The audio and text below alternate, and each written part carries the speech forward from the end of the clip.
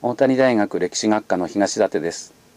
大谷大学の歴史学科では京都にある大学という利点を生かして東アジアにおける京都という視点を大切にしています。794年当時の唐の都長安をモデルにして作られた平安京。その平安京というのはどのような都だったのでしょうか。またその平安京は時代の変化とともにどのように変化していったのでしょうか。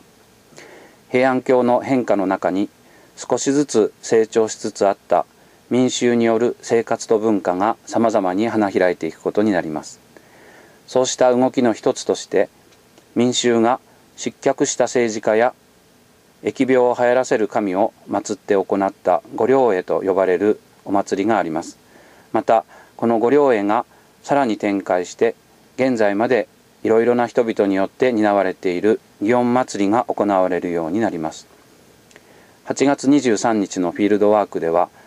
こうした党との交流を伺うことができるところとして平安京の復元模型や洛中洛外図なども展示されている平安京創生館そしてそこで成長した民衆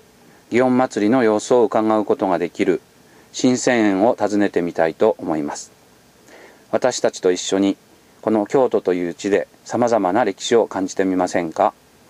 皆さんのご参加をお待ちしています。